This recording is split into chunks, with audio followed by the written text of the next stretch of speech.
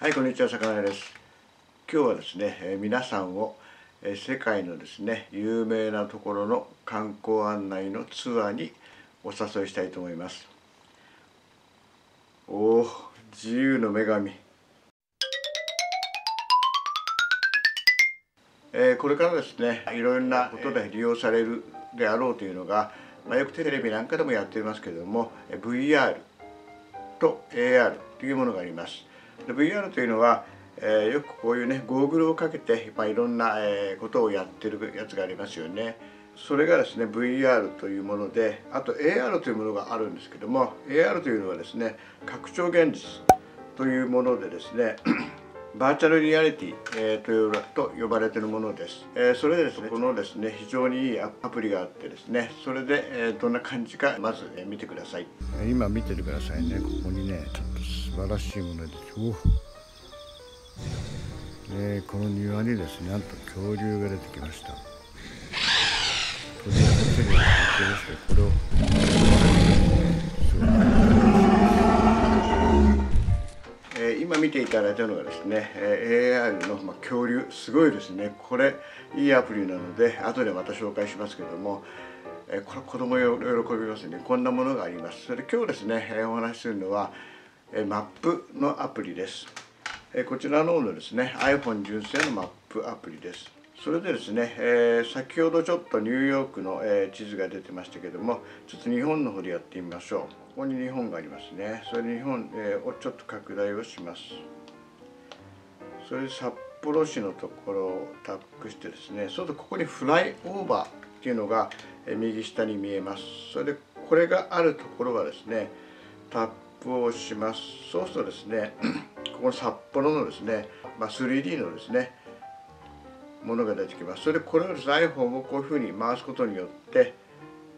こういう形でですね動いていきます。それでここの下にですね都市ツアーを開始っていうのがありますのでこれをタップするとですねなんとこれ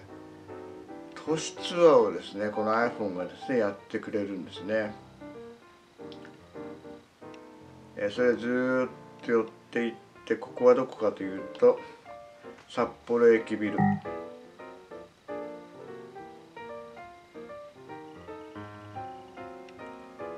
今度はまたですね違うところに行きます。どこ行くんでしょうか。えー、ここは？どこだ？札幌ビールの博物館の札幌ビール博物館ですね。こんな感じでですね都市のツアーを、えー、やってくれます。でこれの見方としてはですねまずですね、えー、ここのマップの上に「えー、愛」みたいな文字が丸に囲んだ「愛」がありますのでここをタップしてここはですねマップ、えー、の表示にしてください。交通機関とか航空写真もありますけどこれマップの表示ですね。ここを選んでいただいてそれでですねここにですね札幌市のとこに丸でえ 3D と、え、表示がされてると思います。ちょっとちっちゃいんですけどね。これがある部分は先ほどのですねフライオーバーというですね、え、ものが、え、表示されてきます、え、ですから日本でいうと、え、ここに見ていきますとちょっと見づらいんで 外しますけれども、え、東京ですね。東京とかえ、ここ静岡にもありますかね。ここね静岡。東京静岡とかですね。こういう感じでですね名古屋にもありますね。ちょっと見てみますか。こんな感じでフライオーバーというふうに出てきます。それこのフライオーバーを、えー、タップしてですねそれで都市のツアーを開始をすればですねこんな感じで自動的にですね都市のツアーをですね、えー、こちらの方の iPhone もちろんこれ iPad でもできます。が、えー、ですから iPad 持ってらっしゃる方はですね iPad の方が楽しく見られるかもしれません。というような感じでえこれすごいですね。これもすごいですね、まあ、この場合にはここに動かしてももちろん変わりませんけれどもこんな形でですね。